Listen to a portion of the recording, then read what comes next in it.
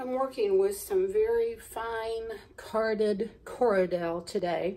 I think that sometimes our problem is we try and take too much fiber at one time. We need it very light, very fluffy.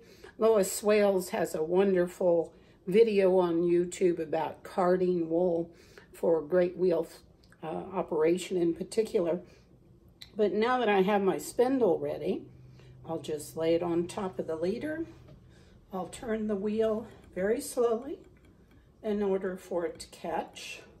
And I'm always watching that drafting triangle just to be sure that I let out the right amount. I'll give it a few turns.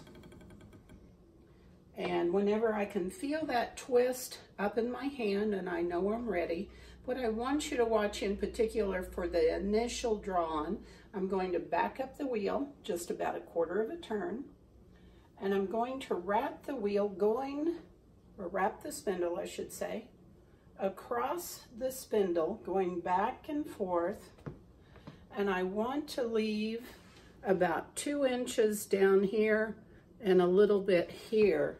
Uh, I really don't want to get real close to the working end of the spindle.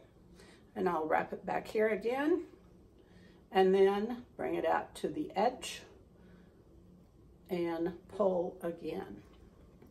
Just start in drafting, turn, let the spindle do its work.